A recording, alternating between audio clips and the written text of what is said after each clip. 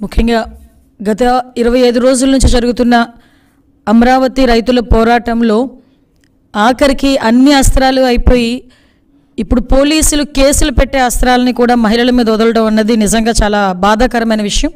ఎందుకంటే దీన్ని ఏ రకంగా రిసీవ్ చేసుకోవాలన్నది కూడా మాకు అర్థం కావట్లే. ఎందుకంటే మొన్న ఏదైతే మహిళలందరూ కూడా రోడ్డు మీదకి వచ్చి మార్నింగ్ కనకదుర్గమ్మ ఆలయంలోకి వెళ్ళి పూజలు చేసే టైం దగ్గర నుంచి అక్కడ దుర్గాదేవి బొమ్మలు పగలగొట్టడం కానీ విగ్రహాలు పగలగొట్టడం ఐ మీన్ ఫ్రేమ్స్ పగలగొట్టడం కానీ వాళ్ళు తీసుకెళ్ళిన పసుపు కుంకాలు నేలపాలు చేయడం కానీ ఇవన్నీ కూడా పోలీసులు దుశ్చర్యలుగా భావించుకొని వాళ్ళందరూ కూడా బాధపడే సందర్భాన్ని ఇంకా మర్చిపోకముందే. అదేవిధంగా విజయవాడ నడివీధుల్లో బందర్ సెంటర్ దగ్గర బందర్ రోడ్లో ఏదైతే ర్యాలీ చేశారో ఆ రోజు చరిత్రలో నిలిచిపోయే విధంగా పదకొండో తారీఖున జరిగిన ఇష్యూని కూడా మనం ఒకసారి రిమైండ్ చేసుకుంటే ఆ రోజు వందలాదిగా మహిళలందరినీ కూడా అరెస్ట్ చేయడం జరిగింది. అరెస్ట్ చేయడమే కాకుండా అంటే నేను ఆ రోజు చాలా శాంతియుతంగా జరుగుతున్న ఒక ర్యాలీని డిస్టర్బ్ చేసి మహిళా పోలీసుల చేత అదేవిధంగా పురుష పోలీసులు అంటే జెంట్ పోలీసుల చేత కూడా ఆ రోజు వాళ్ళందరినీ కూడా అరెస్ట్ చేయించి వివిధ పోలీస్ స్టేషన్లకి ఒక తీవ్రవాదుల్ని మార్చినట్టుగా ఒక స్టేషన్ నుంచి ఇంకొక స్టేషన్కి ఇంకో స్టేషన్ నుంచి ఇంకో స్టేషన్కి మార్చడమే కాకుండా వాళ్ళందరినీ రిలీజ్ చేయాలంటే కనుక వాళ్ళ నేమ్స్ అన్నీ ఆ రోజు తీసుకోవడం జరిగింది. అంటే నేను ఆ రోజు చాలామందిని చాలా మందిని ఆరున్నర తర్వాత కూడా వదిలిపెట్టకపోతే ఆ పోలీస్ స్టేషన్ కూడా వెళ్ళడం జరిగింది ఆ రోజు. నేను కూడా ప్రత్యక్ష సాక్షిని. అందుకే దీని మీద ఇంత పర్టికులర్గా మాట్లాడడం జరుగుతుంది. ఆ రోజు నేను కూడా డిఎస్పీ గారితో మాట్లాడినప్పుడు లేదమ్మా జస్ట్ మేము నేమ్స్ తీసుకుంటాం. అంతకుమించి మేమేమీ చేయం. అంటే ఇది ఒక ప్రివెన్షన్గా మేము తీసుకుంటాం. మళ్ళీ రేపు పొద్దున్న ఏదైనా జరిగితే మళ్ళీ మాకు కొంచెం ఆధారాలు ఉండాలి కదా. దాని ఒక్క బేస్తోనే లేదు రేపు పొద్దున ఏదైనా వీళ్ళు కోర్టుకు వెళ్ళినప్పుడు ఎందుకు వదిలేరు అన్నది మాకు సాక్ష్యం ఉండాలి కదా. దాని గురించి మాత్రమే తీసుకుంటున్నాం తప్పితే మేము ఎటువంటి కేసులు కూడా పెట్టము అని ఒక డిఎస్పీ స్థాయి వ్యక్తి కూడా మాతో చెప్పడం జరిగింది. కట్ చేస్తే ఇంకా ఆ గాయాలు ఇంకా మానలే. ఇంకా ఆ రోజు వాళ్ళు కొట్టిన దెబ్బల గాయాలు కానీ ఇంకా హాస్పిటల్లో ఉన్న మహిళలు కానీ రోడ్డు మీదకి ఇంకా తిరిగి వాళ్ళ ఇళ్ళకి చేరుకోకుండానే ఈ టైంలోనే ఈ మీన్ వైల్లోనే మనం చూస్తే సుమారుగా మహిళల మీద three twenty three three fifty three one forty three four twenty seven three forty one three not seven కేసులు. అసలు ఈ కేసులన్నీ కూడా నాన్ బెయిలబుల్ వారెంట్స్ అసలు నాన్ బెయిలబుల్ వారెంట్స్ అంటే వాళ్ళు కేసులు బుక్ చేసే పరిస్థితి అక్కడ ఎందుకు క్రియేట్ అయింది? అసలు అంత క్రియేషన్ ఉందా అక్కడ? అంటే మహిళల్ని భయభ్రాంతులు చేయాలి. ఏదైతే ఉద్యమకారులు బయటకు వచ్చి మాకు ఇది న్యాయం జరగాలని చెప్పి మహిళలందరూ బయటకు వచ్చి ఈరోజు ధర్నా చేసే కార్యక్రమంలో వాళ్ళని డిస్టర్బ్ చేయాలి అంటే వాళ్ళని భయాందోళనకు గురి చేయాలని ఒకే ఒక కారణంతో ఇటువంటి నాన్ అవైలబుల్ కేసెస్ని అల్లర్లు సృష్టిస్తున్నారు. వీళ్ళు ఏమైనా గూండాలా అండి? వీళ్ళెవరో తీవ్రవాదులా? వీళ్ళేమైనా అల్లరి సృష్టించే రౌడీ షీటర్సా? అటువంటి వాళ్ళందరి మీద పక్కన పెట్టుకొని రోడ్డు మీదకి కోట్ నల్ల కోట్ వేసుకుని వచ్చిన లాయర్ మీకు రౌడీ షీటర్లా కనిపిస్తున్నారా? అల్లరి సృష్టించే వాళ్ళ కనిపిస్తున్నారా? స్టెత్కు స్టెతస్కోప్ వేసుకున్న డాక్టరు ఈరోజు మీకు అల్లర్లు సృష్టించే రౌడీలా కనిపిస్తున్నారా? ఎంప్లాయీస్ చదువుకున్న పిల్లలు వీళ్ళందరూ కూడా ఆ రోజు లేడీస్ అందరూ కూడా రోడ్డు మీదకి వచ్చి ధర్నా చేస్తూ ఉంటే ఇప్పుడు పొలిటికల్ లీడర్స్ అంటారు పక్కన పెట్టండి. ఇంటలెక్చువల్ పర్సన్స్ని ఎంప్లాయీస్ని కూడా ఈరోజు రౌడీ షీట్ల కింద మీరు భావించుకొని వాళ్ళ మీద కేసులు పెట్టడమే కాకుండా వాళ్ళ పాస్పోర్ట్స్ని కూడా క్యాన్సిల్ చేస్తామని చెప్పే పరిస్థితి దౌర్భాగ్యపు పరిస్థితి ఈరోజు ఇది వచ్చిందంటే రాష్ట్రంలో నిజంగా మనం ఎక్కడున్నామని నేను ప్రశ్నిస్తున్నా. నేను ఒకటే అడుగుతున్నాను. ఇదే విధంగా ర్యాలీలకి కూడా అనుమతి లేదు అనుకుని చెప్పి ప్రతి ఒక్కరిని కూడా అరెస్ట్ చేస్తున్న ఈ నేపథ్యంలో అవంతి శ్రీనివాస్ గారు అక్కడ ర్యాలీ చేశారు. No issue no case. మొన్న చంద్రశేఖర్ రెడ్డి గారు ద్వారపూడి చంద్రశేఖర్ రెడ్డి గారు ఆయన ఒక ర్యాలీ చేశారు. No issue no case. పైగా ఆయన నోటికొచ్చినట్టు చంద్రబాబు నాయుడు గారిని బూతులు తిడతా ఉంటే. కొన్ని కొన్ని మా సంస్కారం అడ్డొస్తుందండి. ఆ సంస్కారం అన్నది కనుక మా కార్యకర్తలు కొంచెం పక్కన పెట్టి మాట్లాడితే ఆ మాటల తూటాలకి మీరు ఉరేసుకుని చావాలి. మేము మాట్లాడలేక కాదు చేత కాక కాదు మా కార్యకర్తలు. కానీ మీరు వాడుతున్న భాష ఎటువంటిది? అసలు ఆయన మీద సూమోటా కింద ఇటువంటి కేసులన్నీ కాదు. ఇంకా బలమైన కేసులు పెట్టి లోపల వేసే పరిస్థితి మనకు తెలుసు మనకు ఉండాలి ఈరోజు. ఒక ప్రతిపక్ష నాయకుడు ఆ రోజు ప్రతిపక్ష నాయకుడిగా అధికార పక్షంలో ఉన్న చంద్రబాబు నాయుడు గారిని సీఎంగా స్థాయిలో ఉన్న వ్యక్తిని ఉరేయాలి అని చెప్పి ఇదే ప్రతిపక్ష నాయకుడు మాట్లాడిన సందర్భాన్ని కూడా ఈరోజు నేను గుర్తు చేస్తున్నా. ఎందుకంటే యథా రాజా తదా ప్రజ. రాజు ఎలాగుంటే ప్రజలు కూడా అలాగే ఉంటారని చెప్పడానికి ఈరోజు వాళ్ళ ఎమ్మెల్యేల తాలూకా బూతు పురాణాలే ఈరోజు నోరిప్పితే నేను మొన్న చెప్పాను ప్రెస్ మీట్లో కూడా. వైఎస్ఆర్సీపీ ఎమ్మెల్యేలుగా రావాలి అనుకుంటే కేవలం క్వాలిఫికేషన్ ఒకే ఒకటి. వాళ్ళకి చదువు ఉందా సేవా తత్పరత ఉందా ఇంకేమీ అవసరం లేదు. కేవలం బూతులు వస్తే చాలు. ఇంకొకటి ఇందులో లాజిక్ ఉందండోయ్. వైఎస్ఆర్సీపీ కార్యకర్తలకి కానీ వైఎస్ఆర్సీపీ ఎమ్మెల్యేస్ లీడర్స్లో ఒక బాగా నాటుకుపోయింది. ఏంట్రా అంటే చంద్రబాబు నాయుడు గారిని ఎవరు ఎంత గట్టిగా తిడితే వారికి అన్ని పెద్ద పదవులు వస్తాయి. ఇప్పుడు రేపు పొద్దున చంద్రశేఖర్ రెడ్డి గారు కూడా అంత పెద్ద పదవే వస్తుందేమో అనుకొని గట్టిగా తిట్టినట్టున్నారు. నిన్నగాక మొన్న పృథ్వీరాజ్ గారి సంగతి చూసాం. ఎస్వీబీసీ చైర్మన్ గారు. ఆయన కూడా అంత గట్టిగానే తిడితేనే ఆయనకి ఎస్విబిసి చైర్మన్ ఇచ్చారు. ఏంటి? కనీసం ఆయన క్వాలిఫికేషన్ ఏంటి? ఆయన బ్యాక్గ్రౌండ్ ఏంటి? ఏమీ తెలియకుండా ఈరోజు టీటీడీని కూడా ఈరోజు తీసుకొచ్చి వీధిలో పెట్టే పరిస్థితి ఈరోజు తీసుకొచ్చారు జగన్మోహన్ రెడ్డి గారు. అంటే ఇలాంటి కేసులన్నీ మరి వాళ్ళ మీద ఎందుకు పెట్టలేదు? ఈరోజు మా కరకట్ కమల్ హాసన్ గారు ఉన్నారు. ఆయన ఏం చేసినా నిజంగా మహానటుడు చేసిన మహానటి అని మొన్న సినిమా వచ్చింది కానీ ఈయన పేరు పెట్టి మహానటుడు అని పెట్టి ఈయన హీరో కింద పెట్టాలి మా కరకట కమల్ హాసన్ గారిని. మరి ఆయన మీద కూడా ఈరోజు ఇవే కేసులు పెడుతున్నారా అండి జగన్మోహన్ రెడ్డి గారు? ఇవే కేసులు పెట్టి ఆయన పాస్పోర్ట్ కూడా మీరు క్యాన్సిల్ చేస్తారా? మీరు క్యాన్సిల్ చేయాలి పాస్పోర్ట్లు క్యాన్సిల్ చేయాలి నాన్ బెయిలబుల్ వారెంట్లు పెట్టాలి అనుకుంటే ఈరోజు జైల్లో ఉండాల్సింది ఎక్కువ మంది వైఎస్ఆర్సీపీ ఎమ్మెల్యేలు లీడర్లే. ఇక ఈ ఇష్యూని అంటే మహిళల్లో భయాందోళన నేను మొన్న కూడా చెప్పాను. మహిళలు ఎలాంటి వాళ్ళు అంటే అపర కాలులు ఎందుకు ఈ మాట చెప్తున్నానంటే మీరు ఎంత రెచ్చగొడితే అంత వేగంగా బయటకు వచ్చే పరిస్థితి ఉన్న మహిళల్ని ఈరోజు రెచ్చగొట్టుకుంటున్నారు. నేను ఇది అయిన తర్వాత ఈ కేసులు పెట్టిన తర్వాత కొంతమంది మహిళలతో మాట్లాడితే వాళ్ళు ఏమంటున్నారు తెలుసా అండి? క్యాన్సిల్ చేస్తే క్యాన్సిల్ చేయనియండి. మేము ఇక్కడుండే పోరాడతాం. మా ఊర్లోంచి మమ్మల్ని పంపించలేరు కదా? మాకు న్యాయం గురించి మేము పోరాడేటప్పుడు ఎన్ని త్యాగాలకైనా మేము సిద్ధం అని చెప్పి ఈరోజు మహిళలు రోడ్ల మీదకి వచ్చి మళ్ళీ పోరాటానికి సిద్ధపడుతున్న ఈ ఆంధ్రప్రదేశ్ మహిళా లోకానికి నా తరపున హ్యాట్స్ ఆఫ్ చెప్తున్నానండి. ఎందుకంటే మహిళలు తలంచుకుంటే సాధించలేనిది ఏదీ లేదు. ఈరోజు అమరావతి రైతుల విషయంలో మహిళలు చేసిన ఇనిషియేషన్ చూస్తే నిజంగా చాలా ముచ్చట అనిపిస్తుంది అదేవిధంగా ఇంక నిన్న మనం చూసుకుంటే ఉమెన్ కమిషన్ వచ్చారు. జాతీయ ఉమెన్ కమిషన్ సుమోటాగా తీసుకుని ఎవరు పిలవలేదండి మేమెవరం పిలవలా. లేదంటే ఎవరు కంప్లైంట్ పెట్టలా. దయచేసి గ్రహించుకోవాలి. ఉమెన్ కమిషన్ జాతీయ ఉమెన్ కమిషన్ ఫేస్బుక్స్లోని ట్విట్టర్స్లోని అదేవిధంగా మన మీడియాలోని మహిళల మీద జరుగుతున్న ఆకృత్యాలని స్వయంగా చూసి వాళ్ళ బాధపడి సుమోటాగా స్వీకరించి వాళ్ళ బృందాన్ని ఈరోజు ఇక్కడికి పంపిస్తే ఆఖరికి ఆ బృందం కూడా ఆ విలేజెస్లో తిరిగే పరిస్థితిని కల్పించకుండా ఉన్న దౌర్భాగ్యపు గవర్నమెంట్ ఈరోజు మనం చూస్తున్నాం. ఎందుకనంటే ఆ కమిషన్ దగ్గరికి రావాలి అనుకుంటే చాలామంది రోడ్ల మీదకి రావాలి మహిళలందరూ. కానీ నువ్వు వన్ ఫార్టీ ఫోర్ సెక్షన్ విధించి వాళ్ళ టైం వేస్ట్ చేసి చాలామంది మహిళల్ని వాళ్ళ దగ్గరకు కూడా రానివ్వకుండా చేసే పరిస్థితి. నిజంగా ఈరోజు మీకు మై- నీకు మహిళల మీద గౌరవం ఉంది. మహిళలంటే మహిళల పట్ల నీకు అంత అపారమైన నమ్మకం ఉంది. మహిళలకు మేము ఏమి అన్యాయం చేయలేదని నీ మనసాక్షి చెబితే ఈరోజు వన్ ఫార్టీ ఫోర్ సెక్షన్ ఎందుకు విధిస్తున్నావు? వన్ ఫార్టీ పండగలు చేసుకొని ఈరోజు గొబ్బెమ్మలతోని సంక్రాంతి ముగ్గులతోని కలకల్లాడాల్సిన ఈరోజు పల్లెలు పోలీసుల కవాతులతోని పోలీసుల తాలూకా వన్ ఫార్టీ ఫోర్ సెక్షన్ల తాలూకా మోతలతో ఈరోజు మారు మోగుతుందంటే ఇంత దౌర్భాగ్యమైన పరిస్థితి ఎప్పుడైనా చూసారా నేను? జయనాలకి స్ట్రైట్ క్వశ్చన్. ఇన్ని రోజుల్లోని మీరు ఎప్పుడైనా ఇలాంటి పరిస్థితి చూసారా సంక్రాంతి టైంలో? ఐదు సంవత్సరాలు సంక్రాంతి తాలూకా పండగ సంక్రాంతి సంబరాలు చేసుకుంటామని మూడు రోజుల పాటు గ్రామాన్నంతటిని ఒక్క చోట చేర్చి సంక్రాంతి సంబరాలు చేయించిన మహానుభావుడు అండి చంద్ర మన చంద్రబాబు నాయుడు గారు. అటువంటిది ఈరోజు సీన్ రివర్స్ చేసి సీన్ రివర్స్ చేసి పోలీసుల కవాతులతో ఈరోజు సంక్రాంతి పండుగను చేస్తున్నారంటే మిమ్మల్ని ఏమనాలి? ఆఖరిగా జాతీయ కమిషన్కి సంబంధించి మహిళలందరూ ఏకకంఠంతో ఒక గ్రూప్ ఏర్పాటు చేసుకొని మనం ఎక్కడికైనా వెళ్ళి వాళ్ళకి న్యాయం జరిగేటట్టు మనం చేయాలి అనుకుంటే కనుక కమిషన్ సభ్యుల దగ్గరికి వెళ్ళి మనం మన గోడు వినిపించాలి అని చెప్పి వాళ్ళందరూ సంఘటితంగా ముందుకు వెళ్తే టైం వేస్ట్ చేయడమే కాకుండా ఇక్కడ స్టేట్ ఉమెన్ కమిషన్ మహిళల్ని కించపరిచే విధంగా మాట్లాడడం అనేది నిజంగా చాలా సిగ్గుపడే సందర్భం.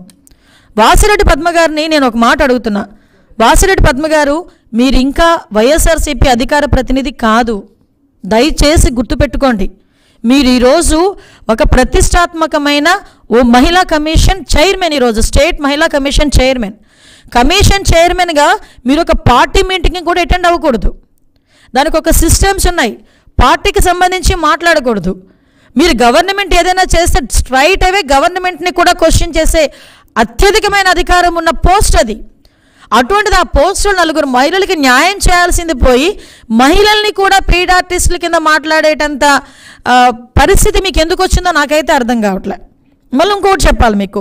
ఈరోజు నిన్న మీరు ఒక ప్రెస్ మీట్ పెట్టి జాతీయ మహిళా కమిషన్ వాళ్ళని కూడా తప్పుదోవ పట్టిస్తున్నారని ఒకవైపు అంటే మనం ఏదో అంటారు కదా మన ఇంట్లోనే ఎలాగో మన స్టేట్ మహిళా కమిషన్ స్పందించకపోతే ఆబ్వియస్లీ జాతీయ మహిళా కమిషన్ వచ్చింది. వాళ్ళ దగ్గరికి వెళ్తా ఉంటే మీకెందుకు భుజాలు తడుముకుంటున్నారు?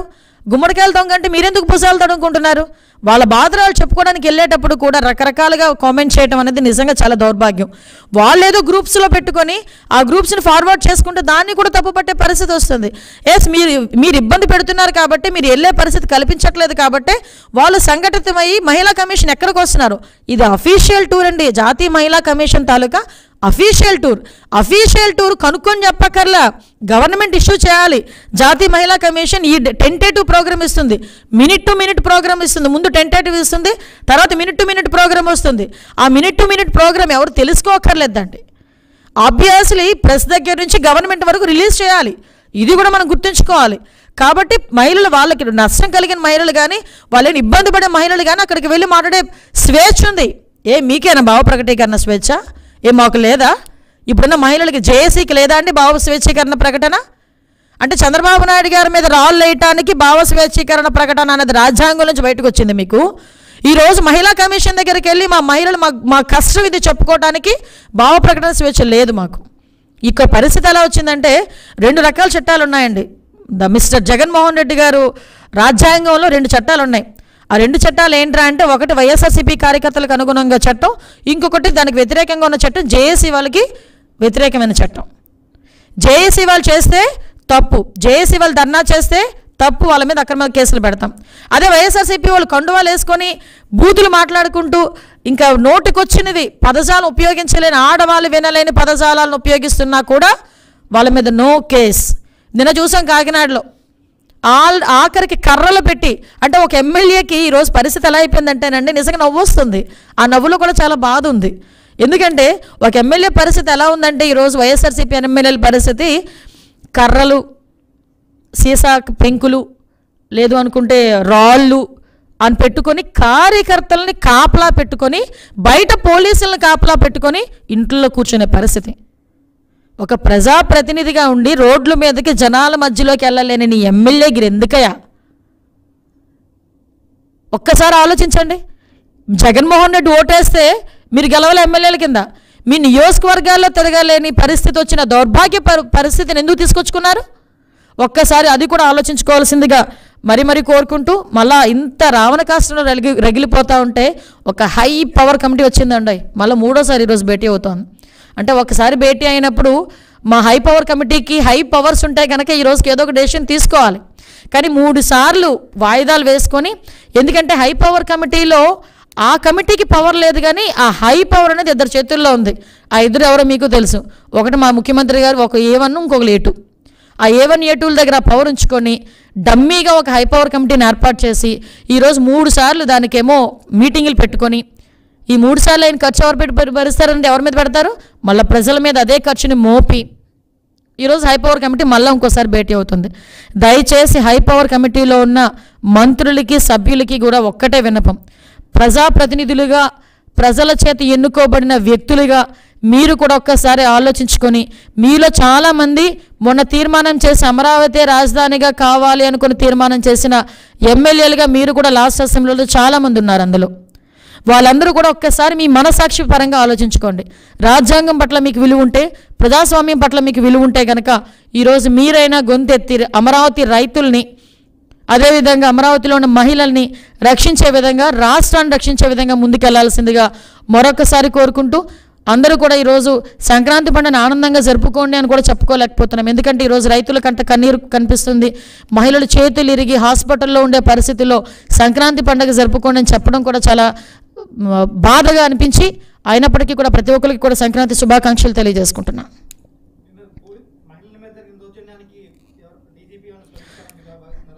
డీసీపీ గారు స్పందించాల్సింది పోయి కేసులు పెడుతున్నారండి. నాకు అదే బాధ అనిపిస్తుంది ఏంటంటే డీసీపీ గారు డీసీపీ గారు నాకు చాలా గౌరవం కూడా డీసీపీ గారు అంటే పోలీస్ వ్యవస్థ చాలా గౌరవం.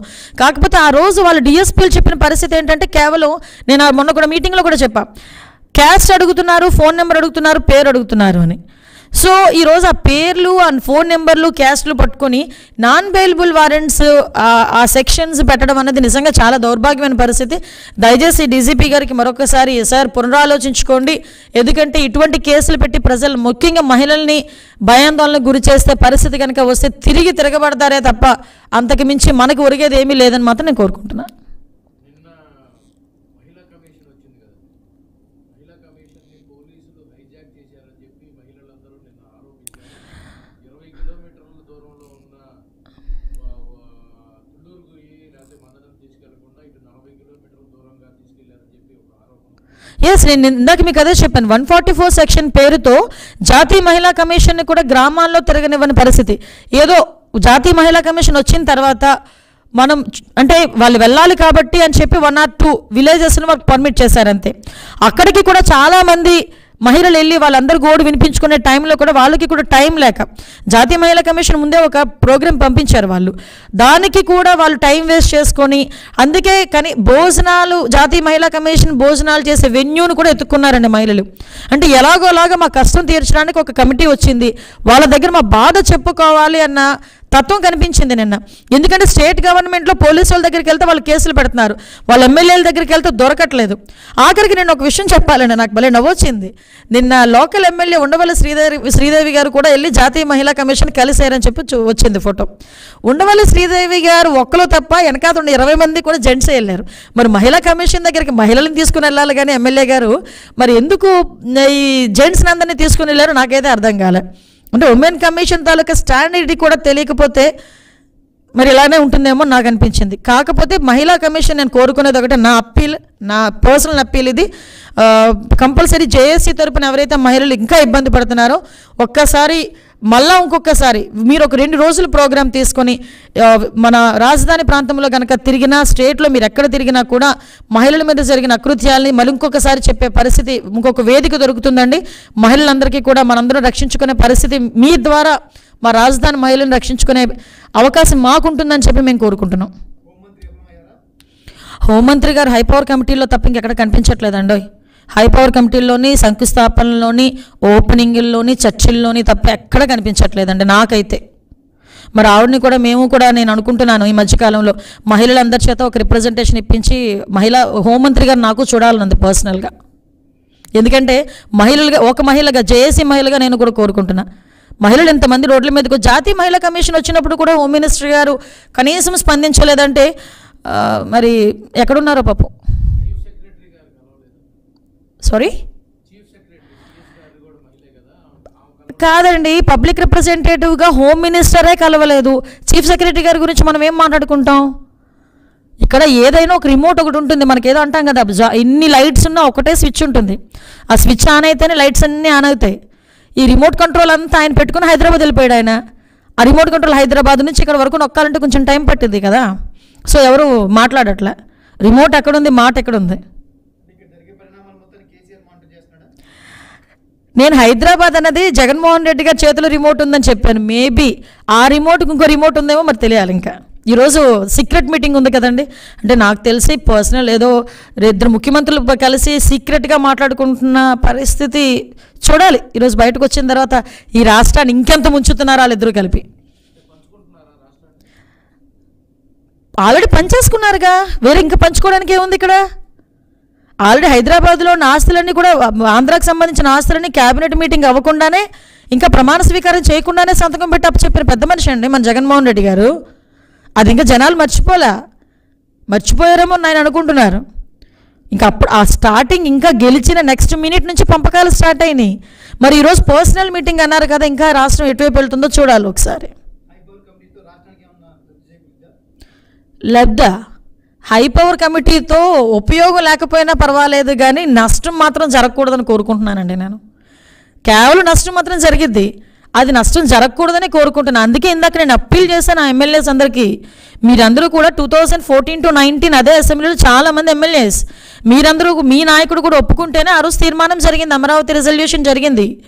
సో ఈరోజు మీ ప్రజాస్వామ్యానికి విలువ లేకుండా ఈరోజు మూడు రాజధానుల ప్రకటనతో ఎందుకు ప్రజలకు ప్రాంతీయ విద్వేషాలు రగిలిస్తున్నారన్నమాట మేము చెప్తున్నాం మీ పార్టీలో ఉన్న మాజీ మహిళా ఎమ్మెల్యేలు అందరూ కలిసి ఉమెన్ కమిషన్ ఢిల్లీ పోయి కలిసి షూర్ అండి. అది కూడా మేము జేఏసీ తరపున వెళ్ళాలని మేము కోరుకుంటున్నాము జేఏసీ తరపున వెళ్ళాలని ఒక ఆలోచన అయితే ఉంది.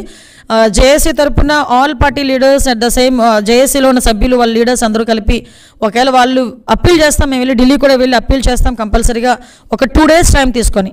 టూ డేస్ టైం మాకు ముందుగా ఒక రెండు రోజుల ముందు మాకు ప్రోగ్రామ్ ఇమ్మని ప్రతి మహిళని కల్ కలుసుకొని వాళ్ళ తాలూకా చెప్పే బాధని వినే పరిస్థితి కల్పించమని మాత్రం మేము కోరుకుంటున్నాం.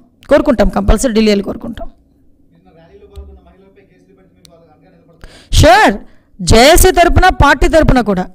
జేఏసీ తరపున మేము అండగా నిలబడతాం. అదే పార్టీ తరపున కూడా ఆ మహిళలందరికీ కూడా మేము అండగా నిలబడతాం. కేసులు ఎన్నో కేసులు. ఒకటే ఇన్ని ఒక విషయం చెప్పాలండి. బాగానే గుర్తొచ్చింది నాకు. ఈ మధ్యకాలంలో కేసులు అంటే జనాలు భయపడట్లా.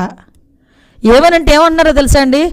జగన్మోహన్ సీఎంఏ సాక్షాత్తు సీఎంఏ పదహారు నెలలు జైల్లో ఉండొచ్చారు. మాకేం భయం అండి అని అడుగుతున్నారు.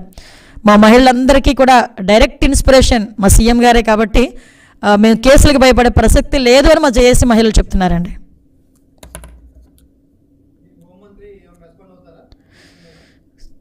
చూడాలంటే హోమ్ మినిస్టర్ తాలూకు ఇన్వాల్వ్మెంట్ లేకుండానే కేసులు పెట్టారంటారా? హోమ్ మినిస్టర్ గారి ఇన్వాల్వ్మెంట్ ఉండే ఉంటుంది కదా కేసులు పెట్టడంలో? కాకపోతే ఆవిడ కూడా మహిళే కదా. నేను కూడా మా కరకట్ కమల్ హాసన్ గారి మీద నెక్స్ట్ మన మిగతా ఉన్నారు కదా ఈ ధర్నాలు చేసిన వాళ్ళ మీద కూడా పెట్టాలి. అని నేను కోరుకుంటున్నా. మరి వీళ్ళకి పెడితే వాళ్ళకి పెట్టాలి కదా ఆబ్వియస్లీ నేను అది స్లోగన్ కూడా చూశాను. ఏ వికేంద్రీకరణ? జస్ట్ రామకృష్ణారెడ్డి గారికి నేను సూట్గా క్వశ్చన్ అడుగుతున్నా. ఆయన పట్టుకున్న పోస్టర్ మీద కూడా వికేంద్రీకరణ జరగాలి అని రాశారు. ఐ థింక్ నేను చూసినట్టున్నాను నేను. వికేంద్రీకరణ జరగాలి అని రాశారు కానీ అభివృద్ధి వికేంద్రీకరణ అధికార వికేంద్రీకరణ. అభివృద్ధి వికేంద్రీకరణకైతే నేను మీతో పాటు మేము కూడా ఉంటాం. అధికార వికేంద్రీకరణకు అయితేనే కదండి ఈ తిప్పలన్నీ పడుతున్నాం. అభివృద్ధి వికేంద్రీకరణ చేయండి. మీతో పాటు మేము కూడా సపోర్టివ్గా ఉంటాం. అంతే తప్ప అధికార వికేంద్రీకరణ చేసి ప్రాంతీయ తత్వాల మధ్య విద్వేషాలు రెచ్చగొట్టడం అనేది కూడా మంచి పద్ధతి కాదని మా అభిప్రాయం. విశాఖలో వినడం కాదు నిజమే అది. చాలా దానికి సాక్షాత్తు ఒకవేళ మీరు ఏమైనా అవకాశం ఇస్తే కనుక ఒక రెండు రోజులు విత్ ప్రూఫ్స్ నేను తీసుకొచ్చి పెడతాం. ఎందుకంటే సుమారుగా ఆరు వేల ఎకరాల పైన ఇన్సైడ్ ట్రేడింగ్ జరిగింది. ఇప్పటికీ జరుగుతుంది. ఇప్పుడు ఏ మూలన చూసినా విశాఖపట్నంలో జగన్మోహన్ రెడ్డి గారు తమ్ముడు అంటారు ఏదో ఎవరో రెడ్డి వచ్చి. లేదంటే విజయసాయి రెడ్డి గారు రిలేటివ్ అంటారు ఇంకో రెడ్డి వచ్చి. అంటే రెడ్డిల మయం అయిపోయింది తప్ప ఇంకా అక్కడ ఏం అంటే భూమికి సంబంధించిన ఏ ఇష్యూ అయినా అక్కడ సెటిల్మెంట్లు లేదా దందాలు కబ్జాలు ఇవే జరుగుతున్నాయి ఇప్పుడు విశాఖపట్నంలో. అభ్యసులు భయపడతారు. ఒకటండి విశాఖపట్నంలో ప్రజలు ఎలా ఉంటారంటే కొత్తగా తీసుకొచ్చి వాళ్ళు అభివృద్ధి చేయడానికి కాదు వాళ్ళు ఇన్ఫ్రాస్ట్రక్చర్ అడుగుతారు. ఏంటంటే ఇప్పుడు అక్కడ స్టీల్ ప్లాంట్ ఉంది పోర్ట్ ఉంది మనకి మన కోస్టల్ లైన్ ఉంది. సో ఇవన్నీ కూడా మనం చూసుకుంటే వాళ్ళు ప్రతిరోజు మార్నింగ్ లేచి కష్టపడ్డామా నాలుగు డబ్బులు సంపాదించుకున్నామా ప్రశాంతంగా ఉండాలి అనుకునే తత్వం ఉన్న వాళ్ళు మా విశాఖ ప్రజలు. అటువంటిది ఈరోజు ఈ రాజధాని వికేంద్రీకరణ అధికార వికేంద్రీకరణ పేరుతో ఈ వీళ్ళందరూ కూడా వచ్చి అక్కడ వీళ్ళు కబ్జాలు. అంటే ఓవరాల్గా ఒక ten percent people happy feel అవుతారు. ఎవరంటే రియల్ ఎస్టేట్ వ్యాపారులు హై బిజినెస్ చేసేవాళ్ళు ఈ కబ్జాదారులు తప్పించి మిగతా ninety to eighty eighty to ninety percent people అందరూ కూడా మధ్య తరగతి వాళ్ళు బిల్ దిగువ మధ్య తరగతి వాళ్ళు. వీళ్ళందరూ కూడా కాస్ట్ ఆఫ్ లివింగ్ పెరిగిద్ది మా అద్దెలు పెరుగుతాయి. ఒకవేళ అద్దెలకి ఇచ్చినా తిరిగి ఖాళీ చేస్తారో లేదో అని ఇంటి ఓనర్స్ ఇలా రకరకాలైన భయాలతో ఈ రోజు విశాఖ ప్రజలు గడిపే పరిస్థితి వచ్చింది. మరి విశాఖ ప్రజలు కూడా ఏ రకంగా రిసీవ్ చేసుకుంటారో కూడా చూడాలి. కక్ష నాకు అభ్యర్థి అంటే విజయమ్మ గారిని ఓడించడం అనేది పక్కన పెడితే మొన్న నాలుగు సీట్లు కూడా తెలుగుదేశం పార్టీకి వచ్చినాయి. సో ఎలాగైనా విశాఖపట్నంలో వాళ్ళ ఆస్తులు కాపాడుకోవాలనేది మెయిన్ క్రైటీరియా. నెక్స్ట్ విశాఖపట్నంలో పాగా అయ్యాలనేది రెండో క్రైటీరియా. సో ఈ రెండింటిని టార్గెట్ పెట్టుకొని ఇంతమంది రాష్ట్ర ప్రజలను ఐదు కోట్ల మంది రాష్ట్ర ప్రజలను ఇబ్బంది పెట్టడం అనేది సరి కాదు.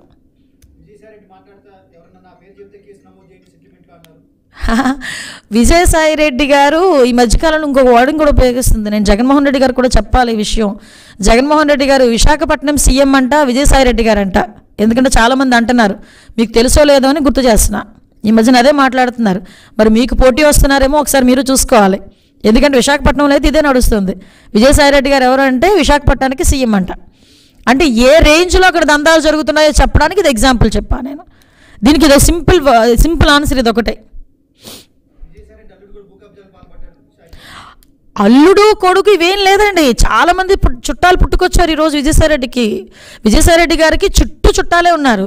వాళ్ళందరూ కూడా ఈరోజు భూ కబ్జాల మీద భూదందాల మీద సెటిల్మెంట్ మీద ఆఖరికి కంపెనీలకి ఫోన్లు చేసుకొని కూడా సెటిల్మెంట్లు చేసుకుంటున్నారు. మీకెంత మాకెంత వాటలు మాట్లాడుకుంటున్నారు? పులివెందుల పులివెందుల పంచ అన్ని వైజాగ్లో ఈరోజు బయటపడతాయి. కొన్ని రోజులు పోతే వైజాగ్లో ఒక భూమి కాపాడుకోవాలి అనుకుంటే ఇంట్లో ఆడపిల్లని కాపాడుకున్నట్టుగా కాపాడుకోవాల్సిన పరిస్థితి వస్తుంది ఈరోజు కొన్ని రోజులు విజయ విశాఖపట్నంలో. ఎందుకంటే ఇప్పుడు ఈ రోజుల్లో ఆడపిల్లకి రక్షణ లేదు మా విశాఖపట్నంలో భూమి ఉన్న వాళ్ళకి రక్షణ లేదు. రెండూ లేవు ఇక్కడ అమరావతి చంద్రబాబు నాయుడు డెవలప్ చేస్తున్నాడని ఇక్కడ నుంచి వైజాగ్ వెళ్తున్నారు వైజాగ్లో ఇప్పుడు వాళ్ళు ఏదైతే పెట్టాలనుకుంటున్నారో అది కూడా హుదూ తుఫాన్ అయిపోయిన తర్వాత చంద్రబాబు నాయుడు డెవలప్ చేశాడు కదా అక్కడ ఎన్ని రోజులు ఉంచుతాడు అదే నేను మొన్న చెప్పానండి ప్రజలు కూడా నేను చెప్పేది ఏంటంటే సీఎం మారుతా ఉంటే రాజధాని మారాల్సిన అవసరం లేదు. అలా అనుకుంటే ఈరోజు స్వతంత్రం వచ్చిన తర్వాత మన ఆంధ్ర రాష్ట్రం విభజన జరిగిన తర్వాత ఆంధ్రప్రదేశ్గా మారిన తర్వాత నుంచి ఈరోజు చూసుకుంటే అనేకమైన రాజధానులు రావాలి. చాలా ప్రభుత్వాలు మారుతూ ఉన్నాయి. కాకపోతే నేను నేను చేసుకున్న అప్పీలు ఒకటే విశాఖపట్నం వాసులకు కానీ మొత్తం రాష్ట్ర ప్రజలందరికీ కూడా ఈరోజు రాజధాని అనంత మనకి అమరావతి ఒక ఫైవ్ ఇయర్స్ అయితే నెక్స్ట్ ఒక సీఎం మారారు కాబట్టి ఈరోజు విశాఖపట్నం అంటున్నారు. రేపు ఇంకొక సీఎం వస్తే మళ్ళీ ఇంకొకటి అంటారు. అంటే మన పరిస్థితి ఏమవుతుందంటే ఇలాగ ఒక అవగాహన రాహిత్యం కలిగిన సీఎంని ఎన్నుకోవటం వల్ల రాజధాని పలానా అని కూడా మన భావితరాలు చెప్పుకోలేని పరిస్థితి ఈరోజు వచ్చింది. నేను అందుకే మన ఒక స్ట్రైట్ క్వశ్చన్ అడిగాను. ఆంధ్రప్రదేశ్ రాజధాని ఏంటిరా అంటే ఏం చెప్తాం? చెన్నై రాజధాని తమిళనాడు రాజధాని ఏంటంటే చెన్నై అనో కర్ణాటక బెంగళూరు అని ఏదో ఒకటి పక్కనున్న తెలంగాణ. నిన్నగాక మొన్న కొత్త రాష్ట్రం తెలంగాణ విభజన జరిగిన తర్వాత కూడా హైదరాబాద్ ఉంది. కానీ మన రాష్ట్రానికి రాజధాని ఏందిరా అంటే ఈరోజు మొహాలు ఎలబట్టే పరిస్థితి ఈరోజు పిల్లలకు కనిపిస్తుంది. అది జనరల్ నాలెడ్జ్ క్వశ్చన్ అండి. ఎజ్ టీచర్గా చెప్తున్నా రాజధానిలో ఒక జనరల్ నాలెడ్జ్ క్వశ్చన్ ఈరోజు ఆ క్వశ్చన్కి ఆన్సర్ లేదు. ఆంధ్రప్రదేశ్ రాష్ట్ర రాజధాని ఏంటంటే ఆన్సర్ లేని పరిస్థితి అయిపోయింది ఈరోజు. ఆ ఒక్కటి క్లారిటీ ఇవ్వండి భూ కబ్జాలతో విశాఖ ఇమేజ్ దెబ్బతింటుందని ఆల్రెడీ దెబ్బ తినిందండి. విశాఖ ప్రజలు ఎలా ఎలా విశాఖపట్నం ప్రాంతం అంటే ప్రపంచవ్యాప్తంగా టూరిస్ట్ ప్లేస్ అది. చాలామంది ఏంటంటే ఒక రిక్రియేషన్కి కానీ ఒక రిలాక్సేషన్కి కానీ విశాఖపట్నం వచ్చి ఒక రెండు రోజులు మూడు రోజులు ఉన్నా ప్రశాంతంగా గడిపెళ్ళే పరిస్థితి ఈరోజు. కానీ ఆ సిచ్యువేషన్ని ఈరోజు మనం డిస్టర్బ్ చేసుకుంటున్నాం ఈరోజు. అక్క ఆ- ఆదాయ వనరుని కూడా ఈరోజు డిస్టర్బ్ చేసుకునే పరిస్థితి ఈరోజు మనం చూసుకున్నాం. విశాఖ ప్రజలు అంటే ఆ రోజు మరి వాళ్ళ మా పరిస్థితి ఎలా అయిందంటే విజయమ్మ గారిని ఓడించడమే మేము చేసిన తప్పు.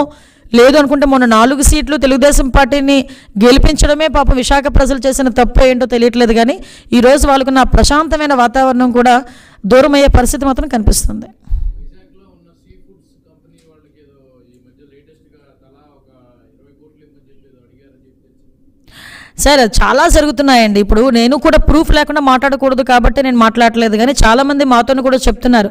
ఇలా ఫోన్లు చేసి బెదిరిస్తున్నారు అని చెప్పి.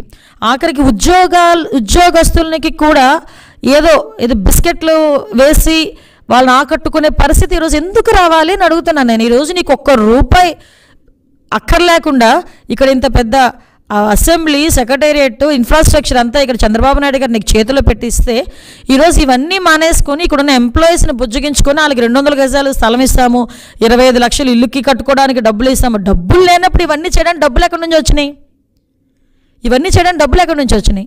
మాకు కావాల్సింది రైల్వే జోన్ ఇవ్వయ్యా బాబు అంటే రైల్వే జోన్ ఇవ్వవు. విశాఖపట్నానికి కావాల్సింది ఈరోజు రాజధాని కాదండి. విశాఖపట్నానికి కావాల్సింది రైల్వే జోన్. అక్కడ పెట్టి పెడదామని చెప్పి వచ్చిన డేటా సెంటర్ తీసుకొచ్చి మళ్ళీ పెట్టండి. అక్కడికి మళ్ళీ వచ్చి వెళ్ళిపోయిన లులు గ్రూప్స్ని తీసుకొచ్చి మళ్ళీ పెట్టండి. మాకు ఉద్యోగ అవకాశాలు ఇవ్వండి. ఇవన్నీ మానేసుకొని ఎవరు అడిగారండి? విశాఖ ప్రజలు అడిగారా? మా ఊర్లో రాజధాని పెట్టండి అని. ఆల్రెడీ ఉన్న రాజధాని అందరూ అలవాటు పడి ఇక్కడికి వచ్చి వాళ్ళు పనులు చేసుకుంటా ఉంటే ఎంత దౌర్భాగ్యం అంటే ఇక్కడ రాజధాని మేము రద్దు చేస్తున్నాం ఇక్కడ రాజధాని ఉండదు అనేది అదే రాజధానిలో ఉన్న అసెంబ్లీలో ప్ర మళ్ళీ దాని గురించి చర్చించడం ఇంకెక్కడైనా ఉంటుందండి ఇటువంటి దౌర్భాగ్యం పైసా ఖర్చు లేకుండా అమరావతి ఉంటే వైజాగ్ ఎందుకు తరలిస్తున్నారు ఎస్ అదే నేను చెప్తున్నాను. పైసా ఖర్చు లేకుండా ఇక్కడ అమరావతి నుంచుకొని కేవలం ఒకటే చెప్పాను కదండి వాళ్ళ భూములకు రేట్లు పెరగాలి వాళ్ళ ఆస్తులు పెరగాలి. నేను ఈ సందర్భంలో చెప్పొచ్చో చెప్పకూడదో తెలియదు కానీ ఏదైనా కాంట్రవర్సీ అయితే నాకు ఒక కేసు వస్తుంది అంతే. అది కూడా చెప్తున్నాను నేను. మొన్న రీసెంట్గా ఒక ప- ఒక సీనియర్ జర్నలిస్ట్ నాకు ఫోన్ చేశారు. ఫోన్ చేసి జనరల్గా ఈ టాపిక్స్ గురించి మాట్లాడుతూ మనకి నరసింహస్వామికి సంబంధించి ప్రహ్లాదుడి కథ ఉంటుంది. ప్రహ్లాదుడు నరసింహ మంత్రం కడుపులో ఉన్నప్పటి నుంచి నేర్చుకుంటాడట. ఎలాగా నరసింహ స్తోత్రం చేయాలి నరసింహస్వామిని ఎలాగా మనం ప్రసన్నం చేసుకోవాలి అని. జగన్మోహన్ రెడ్డి గారు తల్లి కడుపులో ఉన్నప్పటి నుంచి కూడా డబ్బులు ఎలా సంపాదించాలి ఎలా క్రియేట్ చేయాలని నేర్చుకున్నారంట. మేబీ ఇప్పుడున్న పరిస్థితి చూస్తుంటే అది నిజమేమో నాకు అనిపిస్తుంది.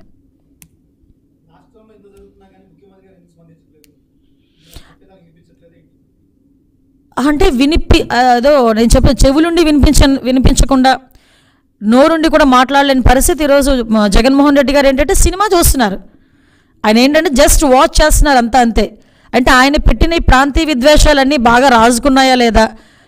నేను మొన్నటి నుంచి ఒక్కటే చెప్తున్నానండి ఇది ఇది ఒక్కటే లాజిక్ ఆయన నవరత్నాల పేరుతో జనాల్ని మోసగించి ఈరోజు ముఖ్యమంత్రి అయ్యి ఆ నవరత్నాలను ఇంప్లిమెంట్ చెయ్యలేక చేతకాక దాని అంతటిని కూడా డైవర్ట్ చేయడానికి మాత్రమే ప్రత్యేక హోదా గురించి ఎవరు మాట్లాడట్లా. పోతున్న రేషన్ కార్డుల గురించి ఎవరు మాట్లాడట్లా. పోతున్న పెన్షన్ పెంచ పెంచుతామన్నవారు దాని గురించి ఎవరు మాట్లాడట్లా. అమ్మఒడి సగం మందికే వచ్చింది. పేపర్లు చూడండి ఇంకా. సంక్రాంతి కానుకగా ఇస్తున్నాను అమ్మఒడి అని చెప్పారు. అవి వాటి గురించి ఎవరు మాట్లాడట్లా. ఇంకా ఇలాగా సన్నబియ్యం గురించి ఎవరు మాట్లాడట్లా. మీరు ఇస్తానన్న చాలా విషయాల గురించి రైతులకు సంబంధించి రోజు విత్తనాలు లేవండి. దాని గురించి ఎవరైనా మాట్లాడుకున్నారా? నేను ఐదు రోజులు చూస్తున్నాను. లాస్ట్ ఫైవ్ ఇయర్స్లో విత్తనాలకు ఎక్కడ కూడా ఇబ్బంది లేని పరిస్థితి అయితే ఈరోజు రెండు వేల ఐదు వందలు ఎంతో డబ్బులు వేసేసి విత్తనాలు కూడా లేవు. వాటి గురించి ఎవరు మాట్లాడట్లా? ప్రత్యేక హోదా అంటారా? ఎప్పుడో ఎక్కడో అదేదో అంటారు కదా. శిథిలాల్లో గెలిపోయింది. ఆ ఓడు కూడా శిథిలాల్లో గెలిపోయింది ఈరోజు వీటన్నింటినీ బుల్డోస్ చేసి ఒకే ఒక్క చిన్న ప్రాంతీయ విద్వేషాన్ని రెచ్చగొట్టి అమరావతిని మూడు వికేంద్రీకరణ చే- పరిపాలన వికేంద్రీకరణ ఉన్న ఒకే ఒక్క పదం వాడి ఈరోజు వీటన్నిటిని కూడా డైవర్ట్ చేశారు ఆయన. నిజంగా నేను మొన్నటి నుంచి అదే అంటున్నాను. ద బెస్ట్ పొలిటీషియన్ పొలిటికల్ లీడర్గా చేస్తున్నాడు ఆయన అంతే. చెప్పాను ఇందాకే మీకు మూడు సార్లు సమావేశం అవుతుంది ఇది. మూడు సార్లు సమావేశం అవుతుంది చూద్దాం ఏం జరుగుతుందో. ఎలాగో పవర్ లేని కమిటీ పవర్ ఇప్పుడు ఇప్పుడు హైదరాబాద్లో ఉంది పవర్ పవర్ ఏమొస్తుంది ఏ రకంగా ఇక్కడికి రిమోట్ ఆన్ చేస్తారో చూడాలి మనం కూడా రాజధాని వల్ల భారం పడుతుందని చెప్పి ప్రజలు విశాఖ ప్రజలు భయపడ బాధపడుతున్నారు విశాఖపట్నం ప్రజలు నిజంగానే భయపడాలి పరిస్థితి వచ్చింది ఈరోజు నేను ఎందుకు చెప్తున్నానంటే ఈరోజు మధ్యతరగతి వాళ్ళు ఎయిటీ టు నైంటీ పర్సెంట్ మధ్యతరగతి వాళ్ళు ఎక్కువ మంది విశాఖపట్నం కేంద్రంగా చేసుకుని చుట్టుపక్కల గ్రామాలన్నిటి నుంచి కూడా అక్కడికి వచ్చి కేంద్రంగా చేసుకుని వాళ్ళు బ్రతుకు బ్రతుకు జీవనం సాగిస్తున్నారు. వాళ్ళకి ఏంటంటే ఉదయం అంతా కష్టపడాలి సాయంత్రం వేసరి రిలాక్స్ అవ్వాలి. ఇది విశాఖపట్నం ప్రజల తాలూకా మైండ్ సెట్ కూడా. వాళ్ళు ఏ రోజు కూడా గవర్నమెంట్ ఇంప్లిమెంటేషన్స్ మీద ఎక్కువగా ఆధారపడి ఉండరు. కాబట్టి ఇప్పుడున్న పరిస్థితి చూస్తుంటే వాళ్ళ తాలూకా భూములు ఎలా కాపాడుకోవాలి? నేను ఇంట్లో ఇందాక కూడా చెప్పాను ఒక ఆడపిల్ల ఎలా కాపాడుకోవాలో ఈరోజు విశాఖపట్నం ప్రజలు భూమిని కాపాడుకోవాలంటే అంత బాధపడే పరిస్థితి ఈరోజు వచ్చింది. ఎందుకంటే ఒక ఖాళీగా ఉన్న భూమి ఉందంటే దాని మీద ఏ కబ్జా ఉంటుందో తెలియదు ఏ సెటిల్మెంట్ ఉంటుందో తెలియదు ఎవరు ఇది నాది అంటారో కూడా తెలియని పరిస్థితి ఈరోజు విశాఖ ప్రజలు భయాందోళనకు గురవుతున్నారు. కేవలం విశాఖ ప్రజల్లోని ఎంత ఎవరంటే చాలా ఆనందంగా ఉన్నారని మొన్న నిన్న మొన్న అక్కడున్న మంత్రి కూడా ఒక ర్యాలీ చేశారు. ఆ ర్యాలీ తాలూకా ఫుటేజెస్ తీసుకోండి. అందులో ఏం జరుగుతుందో ఒకసారి చూసుకోండి. అందులో కేవలం ఒక ten percent business people real estate వ్యాపారాలు చేసేవాళ్ళు భూ కబ్జాదారులు తప్పించి మిగతా వాళ్ళందరూ కూడా ఈరోజు ఇబ్బందులు పడే పరిస్థితి ఈరోజు విశాఖపట్నంలో కనిపిస్తుంది ఈరోజు. కాబట్టి దయచేసి మేమన్నా విశాఖ ప్రజలకి మేము ఒకటే అడుగుతున్నాం స్ట్రైట్ అవే. మాకు రైల్వే జోన్ ఇవ్వండి. మేము ఎప్పటి నుంచో రైల్వే జోన్ గురించి పోరాడుతున్నాం నిరాహార దీక్షలు చేశాం. అయ్యా మంత్రి గారు అవంతి శ్రీనివాస్ గారు ఒక ఎంపీగా ఉండేటప్పుడు తెలుగుదేశం పార్టీ ఎంపీగా ఉండేటప్పుడు ఒకరోజు నిరాహార దీక్ష కూడా చేశారు. ఆయన పుట్టినరోజు రోజే. దయచేసి నేను గుర్తు చేస్తున్నాను ఈరోజు. మీరు పుట్టినరోజు రోజే ఒకరోజు మీరు ఇంకా ఏమీ తీసుకోకుండా నిరాహార దీక్ష చేసి రైల్వే జోన్ కావాలి అని ఆ రోజు ప్రెజర్ పెట్టారు. రైల్వే జోన్ సంగతి మీరు మర్చిపోయినట్టున్నారు అది మళ్ళీ గుర్తు చేస్తున్నా. ఈరోజు మీకు కావాల్సింది మళ్ళా తీసుకొచ్చి అక్కడ రాజధాని కాదు. రైల్వే జోన్ తెచ్చుకుందాం. మన అక్కడ ఉన్న చాలామంది మనకి ఓట్లేసి గెలిపించి మిమ్మల్ని ఓట్లేసి గెలిపించిన వాళ్ళందరూ కూడా హ్యాపీ ఫీల్ అయ్యే పరిస్థితి ఏదైనా ఉంటుందంటే రైల్వే జోన్ కావాలి మనకి. దాని గురించి మాట్లాడట్లా. చెప్తున్నాను కదా సన్నబియ్యం గురించి కూడా పక్కకి వెళ్ళిపోయింది. ఆఖరికి అమ్మఒడి సగం మందికే పడింది అది పక్కకి వెళ్ళిపోయింది. అంటే ఇవన్నీ బుల్డోస్ చేసి కేవలం వికేంద్రీకరణ అని ఒక పదాన్ని తీసుకొచ్చి సినిమా ఆడించేస్తున్నారు ఈ ఏడు నెలల కాలంలో జరిగిన సిచ్యువేషన్ అయితే అది. సో దయచేసి నేను కూడా అప్పీల్ చేసుకునేది ఒకటే. మహిళల మీద జరుగుతున్న ఈ ఆకృత్యాలు ఏదైతే ఉన్నాయో సెక్షన్లు పెట్టారో అవన్నీ కూడా రీబ్యాక్ తీసుకోవాలి గవర్నమెంట్ రీబ్యాక్ తీసుకోవాలి. దీనికి మళ్ళీ జాతీయ మహిళా కమిషన్ కూడా దీని మీద చొరవ చూపించాలి. జాతీయ మహిళా కమిషన్ మరొకసారి మేము తిరిగి రావాలని మాత్రం మేము కూడా కోరుకుంటున్నాం.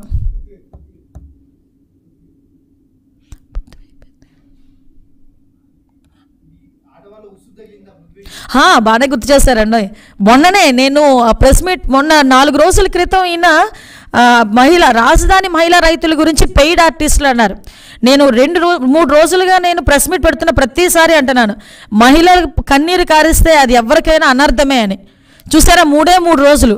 నేను ఆ రోజు చెప్పాను ఏడు నెలల కాలంలో ఒక్కరోజు కూడా కోర్టు గుమ్మం ఎక్కని జగన్మోహన్ రెడ్డి మహిళలందరూ కూడా రోడ్ల మీదకి వచ్చి వాళ్ళు ఏడుపు మొదలుపెట్టిన తర్వాత కోర్టుకి అటెండ్ అయ్యారు. ఇది మహిళలు ఉసురు తగిలింది. ఈరోజు పృథ్వీ గారికి అయితే అలా ఇలా కాదు. ఒక పక్క వెంకటస్వామి స్వామి పనిష్మెంట్ ఇచ్చారు. సేమ్ మళ్ళా మహిళలు కూడా ఉసురు తగిలి ఈరోజు ఒక మహిళ వల్లనే ఆయన ఎస్వీబీసీ చైర్మన్ ప్రతిష్టాత్మకమైన ఎస్వీబీసీ చైర్మన్ నుంచి రాజీనామా చేసే పరిస్థితి ఈరోజు వచ్చింది. కాబట్టి నేను ఒకటే అప్పీల్ చేసిన వైఎస్ఆర్సీపీ నాయకులందరికీ కూడా దయచేసి మహిళల గురించి మాట్లాడేటప్పుడు జాగ్రత్తగా మాట్లాడండి. మేము మహిళలు మేము డైరెక్ట్గా వచ్చి మిమ్మల్ని కొట్టక్కర్లే. అందరూ కూడా దుర్గాదేవి అంశలు ఒక్కసారి కన్నారా చేస్తే కనుక మీకు ఇబ్బంది కలిగే పరిస్థితి వస్తుంది. దానికి ఎగ్జాంపుల్ మీ ఎదురుగానే ఉన్నాయి రెండు. ఒకటి జగన్మోహన్ రెడ్డి గారు మళ్ళా కోర్టు బోనెక్కడం రెండు పృథ్వీ గారు రాజీనామా కూడా. దయచేసి తస్మాస్ జాగ్రత్త. మహిళలతో పెట్టుకుంటే మంచి జరగదు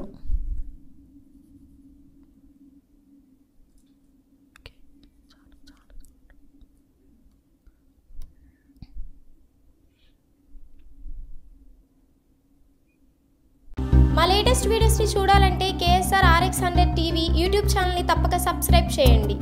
అలానే పక్కనున్న బెల్ బటన్ని క్లిక్ చేసి నోటిఫికేషన్ని పొందండి.